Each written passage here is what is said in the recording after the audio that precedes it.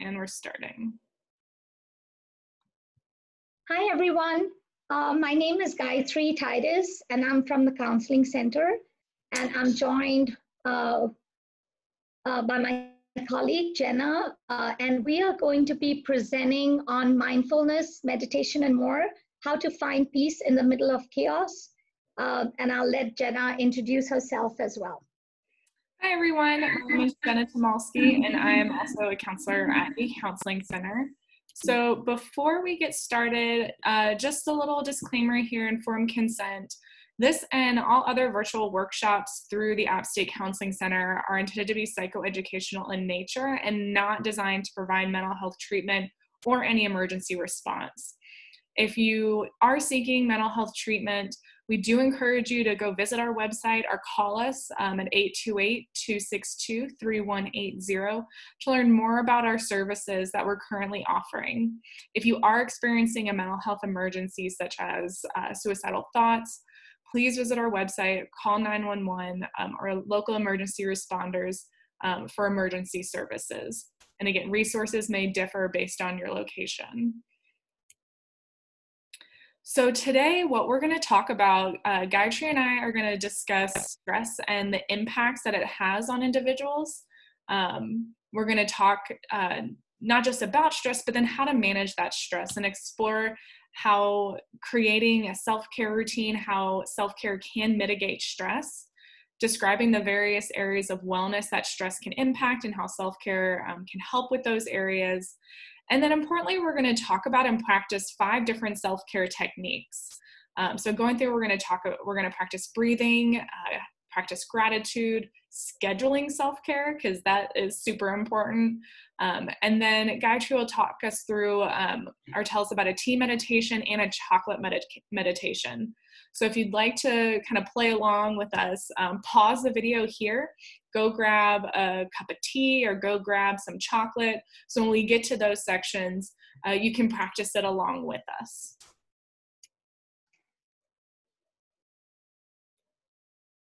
Thank you, Jenna. Um, so um, I'm going to share a little bit about, about stress. So Jenna, have you heard of the word stress before? A couple times, Gayatri. Yeah, it brings up all sorts of memories for me when I was a student. And uh, I just remember uh, being very grateful for pizza. I don't know about you. I always appreciate pizza.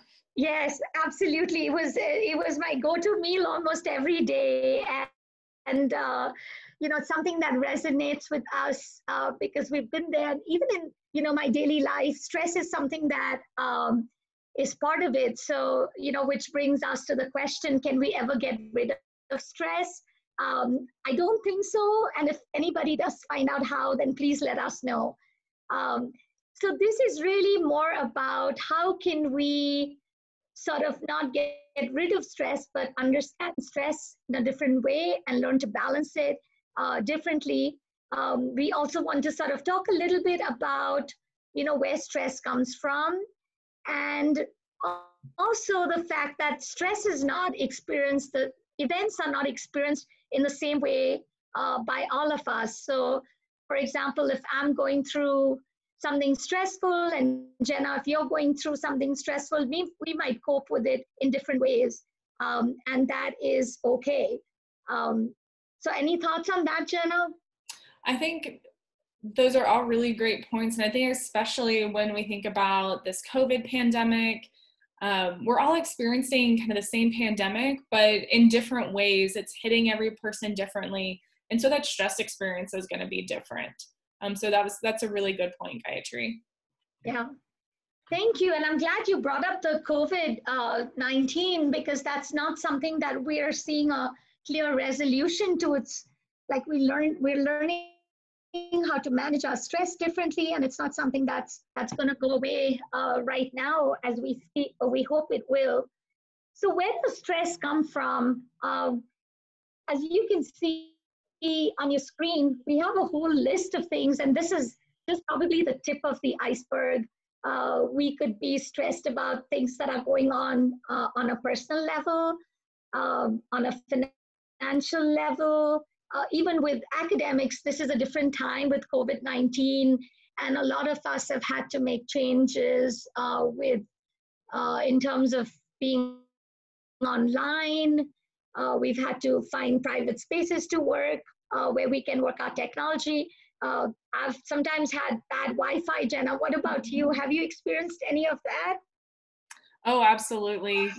finding that balance of that work life, also being in the space where your regular life happens and and managing and making sure you're taking time for yourself um, and i also think it's important to you know point out on some of these things like travel and relationships and family we often think of stress as always bad um, but sometimes stress can be a good thing. Stress is essentially just change. Um, and so changes with travel or changes with family. Um, and so recognizing what parts of these um, feel kind of like that harmful stress, um, but also recognizing that good stress uh, can also still be a little challenging. Yeah, that's that's such a great point. I went uh, to the Greenway Trail the other day and walked by the river, and it just felt so much better. And I didn't even realize, Jenna, how much stress I was carrying until I sort of was able to let some of that go. Mm-hmm. Yeah, um, just recognizing it is is really helpful. Right. And so, as you can see, the person has many, many balls in the air. And sometimes life feels that way, especially when we have this pandemic, that there's so much to do, so much to balance. Uh, and again, Jenna and me want to sort of share a few things that you could do, that we all could do to manage our stress uh, a little uh, more effectively. Mm-hmm. Yeah, and so part of that, kind of what Gayatri is alluding to, is recognizing what that relationship we have with stress is of just one, like recognizing that it's there, um, and then recognizing what those signals are for us of knowing how, what how we're carrying that stress. Um, and there's a lot of different ways we can notice that stress of physical symptoms, like maybe your t- chest is tight, maybe kind of there's a headache, um, emotional signs of stress, feeling more overwhelmed um, feeling really tired or fatigued, and then behavioral signs of stress. I don't know about you, Gayatri, but sometimes when I get really stressed, I get really irritable, irritable, and kind of snappy at others, at other people. Does that ever yeah. happen to you? Uh, so I know that my daughter gets hangry, mm, yeah. and I, I have started noticing that with me as well. That I get hangry if I've not eaten uh, you know, when I'm supposed to, or I get irritable. So yes, I've noticed that. Yeah, and so recognizing for each individual what that, um, what those signs of stress look like, and then what how we're defining that relationship we have with stress. Again, a lot of times when we hear the word stress, we think of it as immediately negative or bad, or I shouldn't have stress. Um, when again, that stress can kind of be telling us something. If we're noticing kind of our chest is feeling tired or we're feeling really fatigued or irritable, that can be a good sign for us of, hey, what's going on? Um, what is this? Where is this stress coming from? What am I feeling? Um, and we can turn that perception of the stress is bad into, oh, this stress is telling me something. What is it that I need right now? And so those that perception and expectation that we have of ourselves and others can greatly influence our stress levels, um, especially in this time of um, of the pandemic where um, I don't know about you, Gayatri. I've seen, you know, on social media where it's, you know, oh, we're in this pandemic. I should bake bread every day, or I should, you know, write a book, or I need to be so productive. And oh man, that's really exhausting. Totally, uh, Jenna. And, you know, I have friends all over the world, and when we, you know, went into this pandemic, I would see so many pictures of all these exotic dishes. And I was like, man, I'm just barely able to make rice and chicken curry. You know what I mean? So mm-hmm. that too was a lot of work. Yeah. And so recognizing that we're kind of in this really stressful time, we're not quite sure when it's going to end. And so, in general, our baseline stress is likely going to be higher than it normally is. And so, if we're kind of at a higher baseline of stress or baseline of anxiety, smaller things are going to feel more overwhelming, or smaller things, quote unquote, smaller things can make us more irritable or make us more attuned to that stress. And so, just recognizing that, hey, we're we're in a stressful time, and we can cope with it maybe more effectively. It's not that we're doing anything wrong or that it's bad, it's just recognizing this context that we're in right now.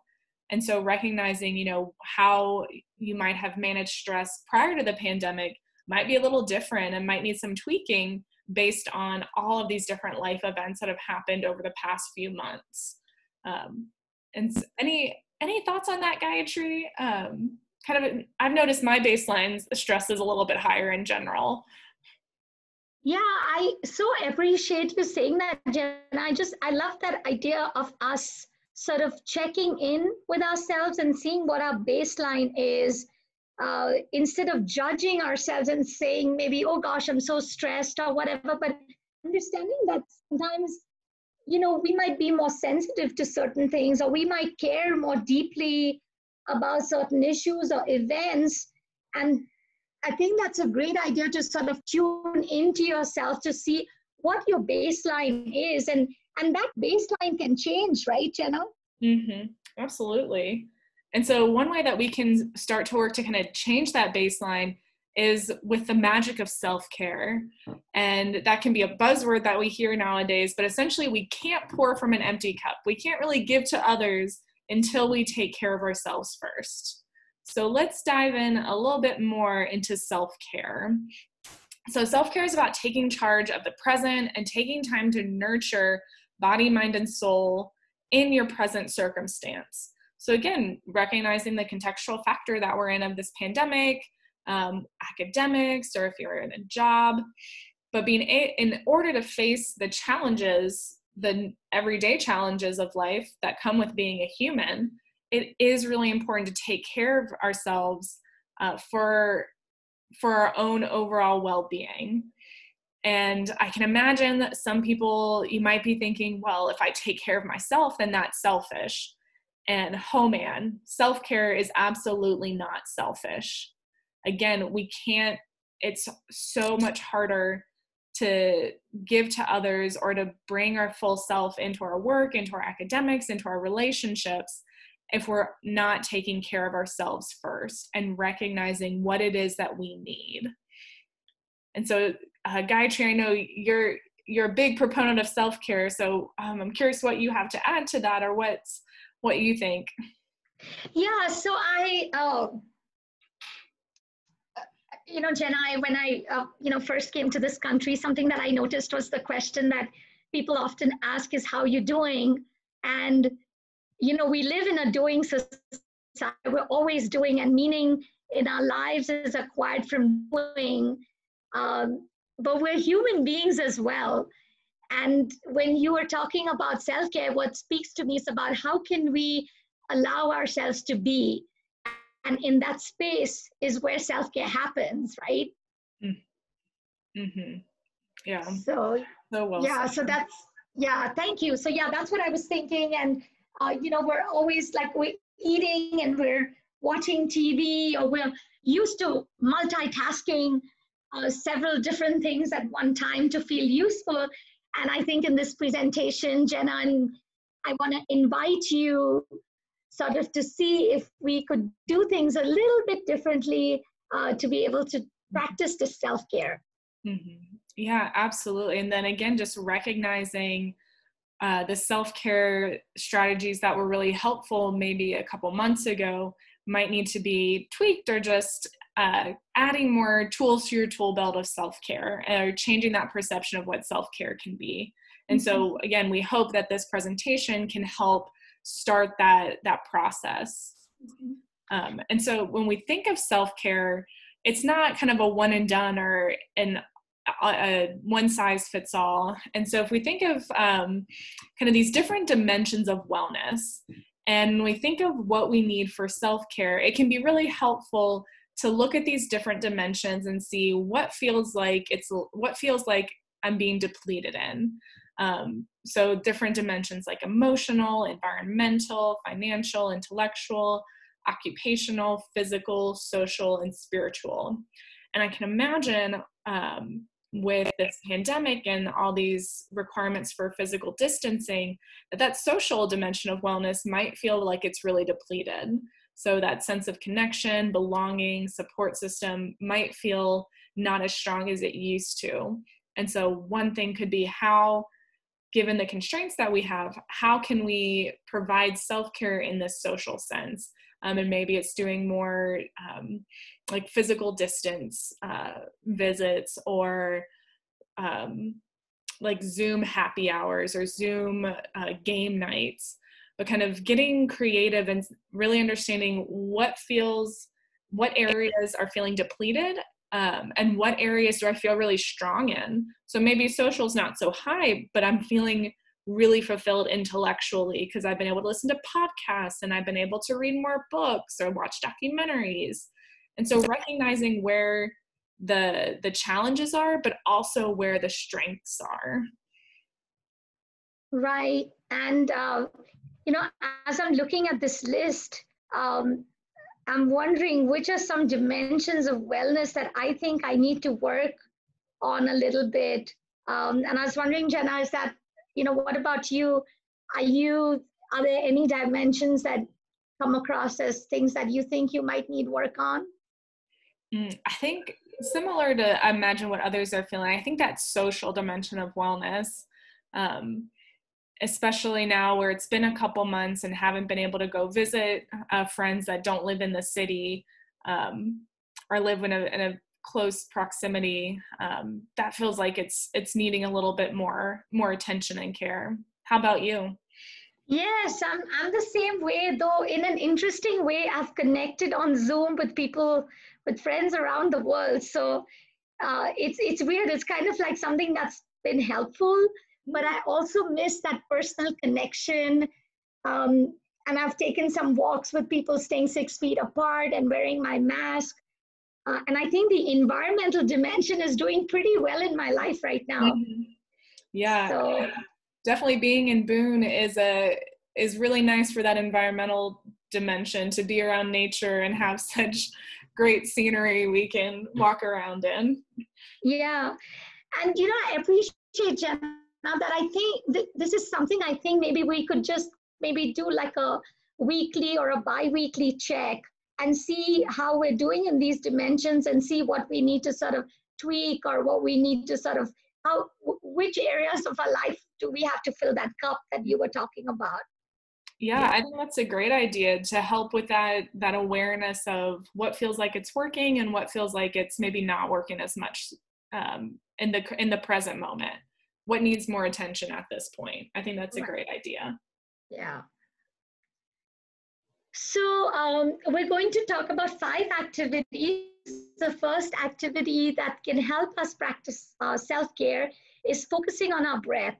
And we have a link to a video here that you could play at your convenience and you could look it up on youtube. As well it is uh, by jay shetty and it's called The First Thing I Learned as a Monk. And I love this video because it gave me some insights into how important breathing is. And for those who haven't heard of Jay Shetty, he um, decided to be a monk and uh, went through his own journey, his own experiences, and then sort of came back uh, and wanted to share his insights with everyone. Uh, so Jenna, you've seen the video too. What what about the video strikes you as important or what resonates with you? Yeah, I think one of the things that really sticks with me is how how present we can be with our breath. We recognize that um, our breath changes when we're angry, when we're sad, when we're happy. And so when we can gain more understanding and more awareness of our breath, we can actually use our breath to help help manage those emotions or help center ourselves from maybe some unhelpful thoughts um, and just how we always have our breath as something that we can fall back on um, regardless of what's going on in our environment. Um, and i thought that that's a really powerful piece that stuck out to me. Right. So so kind of like we live in a world of chaos where we we don't control over so many things but there is something that we can sort of have some control over is how we breathe and how we can use our breathing to calm our uh, down and calm our emotions a little bit, to just get a little more handle of things. So, um, so Jenna and I thought we could do a breathing exercise. Is that okay, Jenna, if we sort of walk people through that today? Go for it. Okay. So this is called the 448 breathing technique. And uh, what we want you to do is just sort of be comfortable, find a comfortable spot, and you can stand, you can sit, um, it's fine. And some people close their eyes, some people want to keep it open and just whatever, uh, you know, fits for you. And the way we're going to do it is, we're, so I'm first going to tell you how it works, and then we're going to do it. Then and me are going to model it, um, and you'll are free to join in. So 448 means that you breathe in for a count of four. The middle four means that you hold your breath for a count of four. And then eight means that you breathe out for a count of eight. And you don't have to reach up to eight. You could do six, you could do seven, whatever works for you. Uh, and when you breathe out, uh, we want to uh, sort of invite you to try to breathe out like a loud whooshing sound, like you're letting go of some of the stress or the anxiety or something that you've been carrying for uh, for a while. So you ready, Jenna? I'm ready. Count us okay. in. Okay, cool. So I'm gonna start counting. So find that comfortable spot you're in. Maybe loosen your shoulders uh, if you feel like they're tight. Um, and so you breathe in, two, three, four. Hold, two, three, four. Breathe out, two, three, four, five, six, seven, eight. All right, should we do that one more time, Jenna? Let's do it one more time. Okay, so breathe in, two, three, four. Hold, two, three, four. Breathe out, two, three, four, five, six, seven, eight. All right, Jenna, how are you feeling? Hmm. More centered. Okay. It was hard for me to count and breathe at the same Yeah. time, Yeah, but I, I will. Go ahead. I was gonna say, I think um, just a, a point that kind of sticks out to me with with breathing is it's not the intention is not to get rid of your stress or get rid of anxiety, um, but to allow you to respond to thoughts, emotions, situations as opposed to react. So it kind of gives us this space to take a step back from from that stress and then respond in a way that maybe we do another breath or maybe we implement another self-care strategy um, Mhm. but it's not meant to get rid of stress Right. Uh, yeah, unfortunately, that takes a little bit more, and it's about managing our relationship with stress, like we talked earlier. So I'm glad you sort of mentioned that. So we hope that everyone who watches this will take a few moments uh, to check out this video, and um, sort of uh, we hope that this will be something that uh, you find useful. hmm Yeah, so that's one uh, one activity that can be really helpful. Another self care activity is practicing gratitude. Um, and so, kind of this quote here really gets out what gratitude gratitude is of unlocking the fullness of life.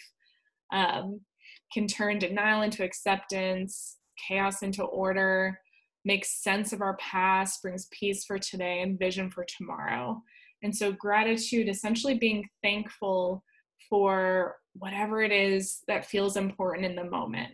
Again, this isn't this isn't discounting the stress that we are have that we are feeling or discounting kind of the the challenging things that are going on in our life, but also providing space for what we are grateful for, what we can be thankful for in the moment. We can hold both of those those feelings at the same time of recognizing, man, there's a lot of challenges going on right now. And here are the things that I feel very strong in.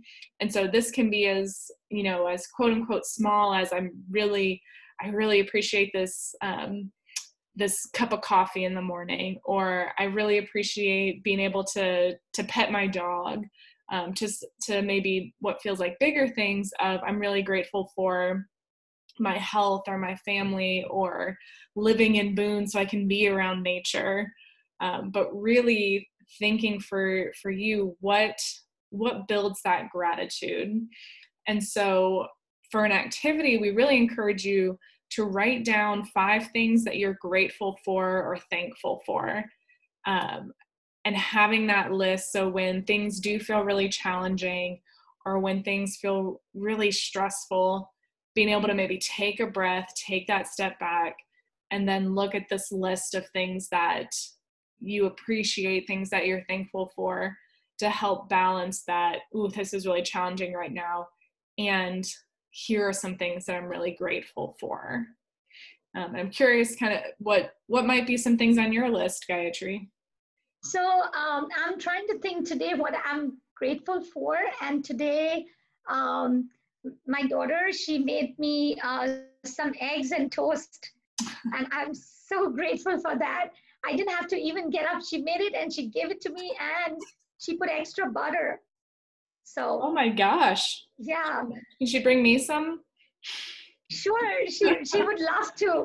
She would love to, and maybe we can sing our breakfast burrito song. Uh, yeah. So, oh, so yeah. Cool. And then secondly, Jenna, I wanted to tell you that I'm also very grateful that I'm doing this presentation with you, and you're sort of doing it with me. So I really appreciate that. You know, that we are sharing this together.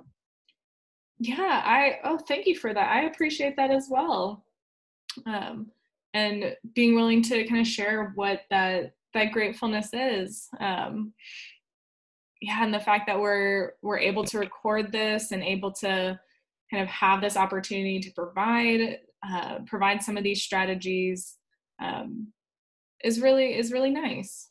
Yeah, absolutely. And when you know that internet turned kind of a bit unstable at the beginning i was like oh my gosh and i'm grateful that this is so far knock on wood uh, we will keep going till we're done yeah. Uh, and, and the other thing jenna i wanted to sort of uh, you know share is that you know something that people could do is even write down on little pieces of paper what they're grateful for and put it in a Ziploc bag and then maybe open that up at the end of a week or two weeks and look at what their life has been like in the last few weeks and what they're grateful or thankful for. Yeah, that, that's a great idea, kind of in the moment gratitude. Um, and then kind of seeing the the compilation of gratitude over the week. Right. Yeah, what a great idea. So that's yeah, so that's a another um, self-care strategy often when we can recognize what we're grateful for that kind of um, can help put things into perspective too maybe um, and so another um, uh, strategy for self-care uh, i don't know about you gayatri i'm a little bit of a planner and so one way that we can ensure that we're having or creating time for self-care is creating a self-care plan. So this does take a little bit of um, proactive um, proactive action and uh, creating a 30 day self-care plan for and have something each day that we do for ourselves that is self-care. And again here's a just a little uh, example of one and so you'll see things as simple as look at yourself in the mirror and smile um, that takes maybe 10 seconds to something that's maybe a little bit uh, a little bit more difficult, a little bit more uh, more extensive, like putting technology devices away for one meal or planning a vacation. But this shows it can be something that feels really small or something that uh, is it takes a little bit more time. But having something planned each day um, so that we create accountability for ourselves, we create intentionality for self care, uh, and then we also have a list of 30 things, 30 other things that we can do for self care to kind of have in our back pocket.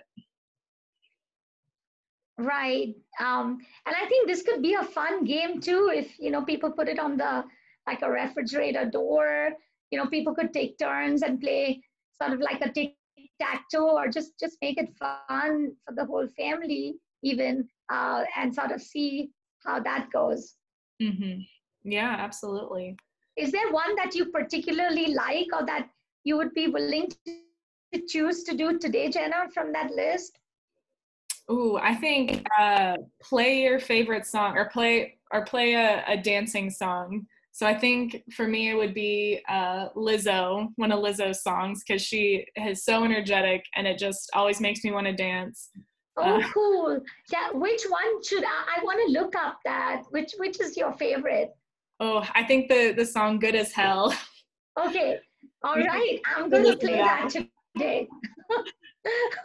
okay, cool. That's awesome. Mm. All right. So uh, the next activity that we want to share with you is tea meditation. So for those of you that have poured yourself a cup of tea or coffee, or you could even do it with hot chocolate.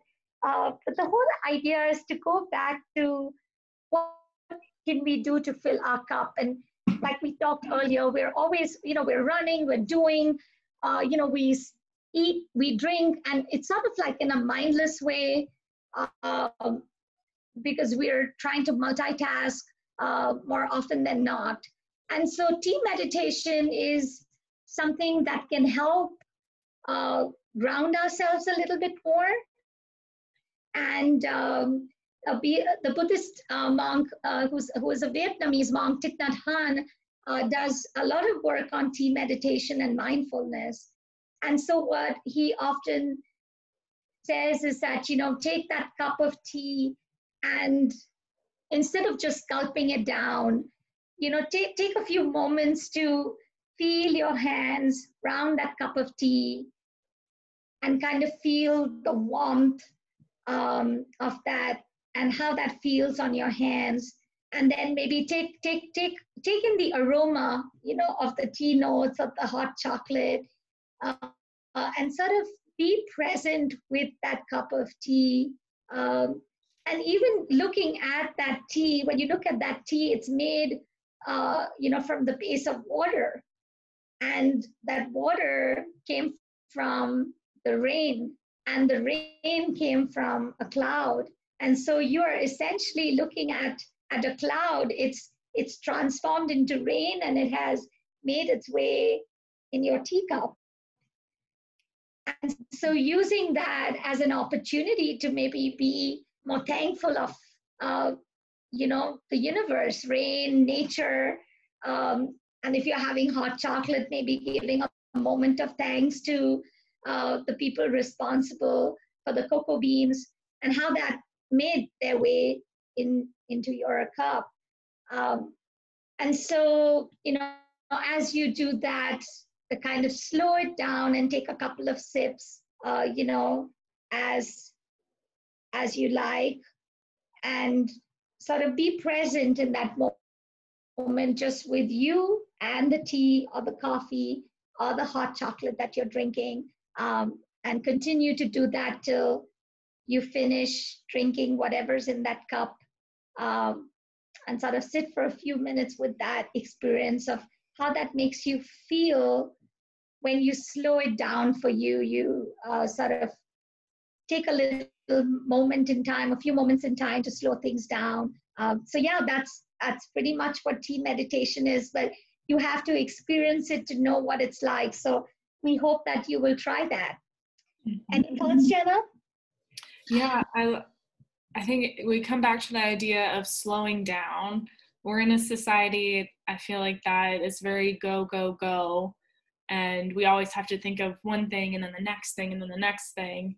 And by breathing, by doing this tea meditation, and then also the chocolate meditation that Gayatri will go over in just a second, allowing ourselves time to slow down, even if it's just for you know, a 30 second breath or having some tea for five minutes, but really allowing ourselves to slow down, refocus our thoughts onto the present of really experiencing the breath or the tea um, can be so so replenishing and so revitalizing um,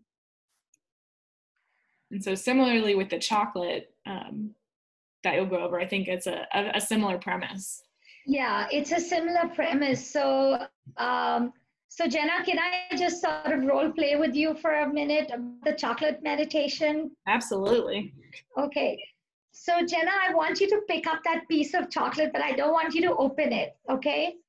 Mm, I want you to I want you to look at that wrapper and I want you to notice what that wrapper looks like. Uh, you know, whether there's silver on it or gold or what sort of color it is. Mm. And then I want you to go ahead and I want you to unwrap the chocolate, but don't eat it yet. So Mm. just unwrap it. And I want you to look at that chocolate and notice what shape the chocolate is in.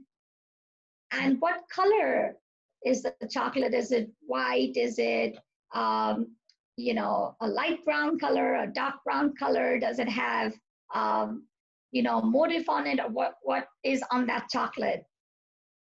And then I want you to hold that piece of chocolate and I want you to notice what it's like to hold that piece of chocolate.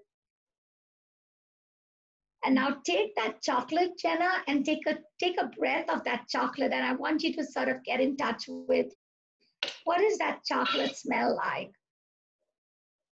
And if you can pick up whether it's got, you know, if you're having white chocolate, that's going to smell a little bit different from maybe, uh, you know, dark chocolate, and sort of smell what that chocolate's like. And then go ahead and take a little bite of that chocolate. And just let it melt and sort of what that chocolate feels like um, and sort of notice the texture. Is it smooth? Is there something to chew? Or, or is there some something to sort of bite on if you have any nuts in that chocolate? And go ahead and take a second bite enjoy that chocolate as it coats your mouth inside as you're eating that chocolate and go ahead and and and eat the rest of the chocolate Yeah, by slowing down and by really noticing all the different senses with the chocolate, it feels like a more like full experience of really getting the smell of it, getting the sight of it. It, it makes the taste even feel more more intense. so so jenna if, like is it different like if you were to just eat that chocolate just like without this mindfulness exercise how do you think that would be different for you Yeah, I don't. It it definitely is a different experience, and I know often again with like kind of just being in a rush. I'm like, oh, I want some chocolate. I'll just like have some Dove chocolate and not really think about it. But slowing it down and really experiencing the chocolate, oh man, it's definitely different and and feels more more filling. yeah. I'm i'm sort of trying not to salivate here. So once i'm done i'm going to go eat my chocolate chips as well. Um, but thank you for doing it uh, with me. And the whole idea of this is uh, that you know you can do this even at like when you're eating a eating a meal uh, Mhm. you could do this with broccoli you could do this with or just you know when you're having lunch or dinner we're usually watching our you know looking at our phones. We're again multitasking. So this sort of is an activity to invite us to be more mindful more fully present with the food that we're using to nurture our bodies or the chocolate that we're eating or even with i think i'm going to try this with tiramisu jenna i haven't done that yet. Ooh, that's a there's a lot of different textures in there. I feel like. yeah that'd be a good. i one. think that's going to be that's going to be on my self-care plan for this week Mhm. Nice. I like Yeah. it. Thank you, Jenna, for doing that with me. Thanks for going through that. Sure. And so those are kind of the five, um, definitely not an exhaustive list or an exclusive list. Um, so here are just some other helpful tools and references for continuing your self care mindful journey. Um, a couple apps, uh, phone apps that I personally love and I think are really helpful um, are the Mindfulness Coach app and the COVID Coach app. Um, and so both of those are free, which are my favorite prices. Um, and they were developed by the VA for, or the Mindfulness Coach app was developed by the VA for veterans combating PTSD. And so it has a lot of really great mindfulness guided exercises. Um, some kind of just a basic mindfulness, others mindful eating, mindful walking, dealing with uncomfortable emotions. And so it's a great resource, as well as a COVID coach app, which was developed specifically for COVID um, and helping to manage stress um, in these current times. And I think it does a really great job of having different, you can track your your symptoms of any anxiety or depression and then has a lot of different um, exercises and techniques for managing stress. Um, so those are some really helpful um, helpful tools i think and again recognizing those different dimensions of wellness calm.com has a lot of great free stuff um, different books and if you do a google search on mindfulness breathing meditations a lot comes up so figuring out what works for you and this can just be a helpful place to start looking for that Um, and then if as you're listening to this and you're like, man, it'd be really nice to talk to somebody about what I'm going through, we are continuing with our services. Um, and so at the time of this recording is the is July 23rd. Um, here an update on our summer services. If you're listening to this and it is already in the fall, um, just call our center. Our number is plastered all over this slide 828-262-3180 to get an update on what our services are but in general we are continuing to do phone consultations um, you can schedule an initial consultation um, just by calling our calling our number we're providing telemental health services so you can talk to one of our counselors um, through telemental health for therapy services we do have emergency services as well. Um, if you're in the Boone area, um, there's a number of resources. And if you're outside the Boone area, there are also a number of resources you can check out, um, as well as a number of our quick access workshops and feeling good workshop series um, are uh, we offer them live. And if you go to our YouTube page, likely where you found this recording, you'll find a lot more of our other recordings on quick access workshops and feeling good workshops.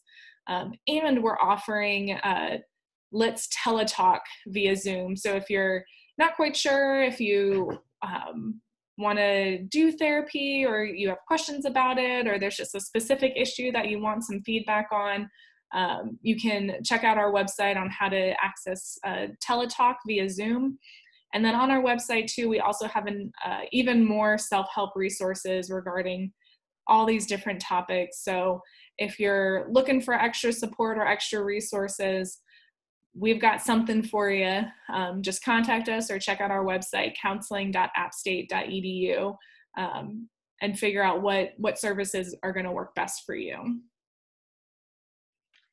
Thanks, Jenna, for sharing all that information. Um, and so uh, we want to thank you for sharing our time, uh, uh, sharing your time with us.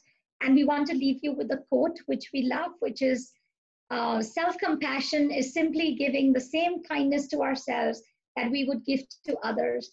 So on that note, we hope that you will uh, practice some self-care uh, and it also has uh, my email on there if you have any questions um, or just any comments, please feel free to write there. Uh, we also have a link on our chat for uh, an evaluation. Uh, so if you could uh, just go to that link and then fill out an evaluation, that would be great. Uh, and if you need uh, that and you can't access it, feel free to write to the email uh, provided and we will be happy to get that to you. So thank you, Jenna. Anything else that you would like to add? Nope. Thank you all for uh, for listening this recording, and we hope it's been helpful. And again, if you have any questions, comments, um, you can either email Gayatri or give us a call at the center. Um, but thank you again, and have a wonderful rest of your day.